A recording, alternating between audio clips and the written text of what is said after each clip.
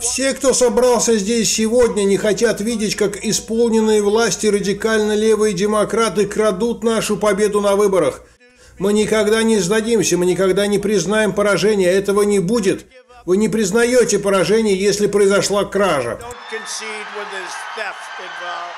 Дональд Трамп выступил с этой речью в полдень 6 января на протестной акции с участием его сторонников, проходившей у Белого дома. Отсюда около двух километров или 30 минут пешком до капиталистского комплекса, где в тот день на совместное заседание собрались обе палаты Конгресса для сертификации результатов выборов.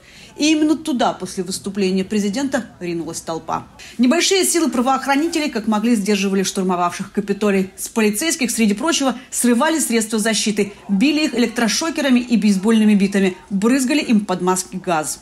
Глава Белого дома молчал долгих 187 минут, прежде чем призвал участников штурма разойтись по домам в своем обращении. В тот день погибли пять человек, десятки получили физические и психологические травмы. Ответ законодателей не заставил себя ждать. Уже через пять дней после атаки на Капитолий трое демократов – Тед Лью, Дэвид Сиселин и Джейми Раскин – представили одну статью обвинения в отношении Трампа – подстрекательства к мятежу. И еще через два дня вопрос о том, виновен ли в этом президент США, поставили на обсуждение в Нижней Палате Конгресса. И некоторые республиканцы примкнули к демократам. Действия президента демонстрируют его полную невозможность исполнять самые базовые и основополагающие обязанности. Он должен быть немедленно отстранен. Роль президента в этой смуте невозможно отрицать. Она просматривается как в его записях в социальных сетях, так и в его речи в день атаки. Он добровольно продвигал безосновательные теории, которые создавали легковоспламеняемую среду, особо благоприятную для дезинформации и распри. Позволить президенту США подначивать к нападению без каких-либо последствий означает угрозу для будущего нашей демократии. И по этой причине я проголосую в поддержку импичмента президента. В тексте обвинения говорилось, что глава государства своей речью и другими заявлениями вдохновил толпу на беззаконные действия. Беззаконие, на которое вдохновил Дональд Трамп, было предсказуемо, и оно было направлено на препятствование исполнению Конгрессом своего конституционного долга – сертификации выборов – Трамп подставил под угрозу целостность демократической системы, вмешался в процесс мирной передачи власти и подверг опасности равноценные ветви власти. Это, в свою очередь, стало угрозой национальной безопасности, демократии и Конституции.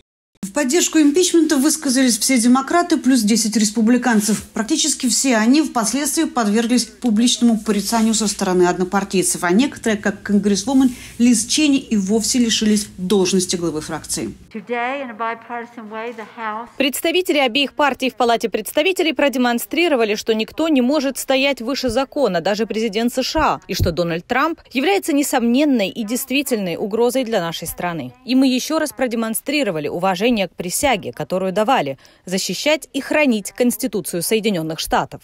После решения Нижней Палаты по существующим правилам менеджер импичмента, группа законодателей и юристов по профессии должны были передать статью импичмента в Сенат. Однако Верхняя Палата была на тот момент на каникулах, и созвать ее можно было только специальным решением лидера большинства. Тогда оно было республиканским, и его руководитель, сенатор Мич МакКоннелл, заявил, ему нужно проконсультироваться со специалистом по парламентским вопросам Верхней Палаты. Еще один процедурный аспект. Как только Сенат берется за вопрос рассмотрения импичмента, другие дела, включая приведение к присяге новых законодателей или слушание с участием номинированных кандидатов на должности в правительстве, откладываются до завершения процесса. Таким образом, Дональд Трамп покинул Белый дом в связи с завершением срока правления, пусть и находясь в процессе второго импичмента. В Сенате сменилось большинство. Президент Байден был приведен к присяге и 25 января в Верхнюю палату была передана статья обвинения. Впервые в истории в отношении уже бывшего президента США. Менеджеры со стороны Палаты представителей в зале готовы представить статью импичмента, которую рекомендовала Палата представителей в отношении Дональда Джона Трампа, бывшего президента США. Обвинение было представлено девятью демократами. Трамп дважды менял команду представлявших его интересы юристов.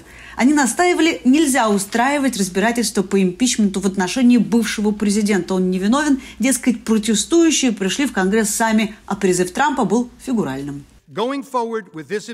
Продолжать разбирательство в отношении импичмента бывшего президента США неконституционно.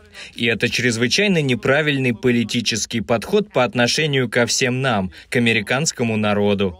Бывший глава Белого дома отказался от показаний и перекрестного допроса. Разбирательство по существу в отношении второго импичмента Трампа по обвинениям в подстрекательстве к мятежу началось 9 февраля.